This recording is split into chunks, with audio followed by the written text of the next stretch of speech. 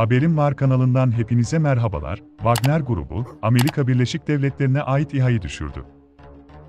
Değerli izleyenler, Rusya destekli paralı asker grubu Wagner, Libya'nın ikinci büyük şehri olan Bingazi'de ilk vurucu İHA yani SİHA olarak bilinen ve Amerikan Hava Kuvvetleri'nden başka hiçbir ülkenin envanterinde olmayan Miku, 9 Reaper tipi İHA'yı düşürdü.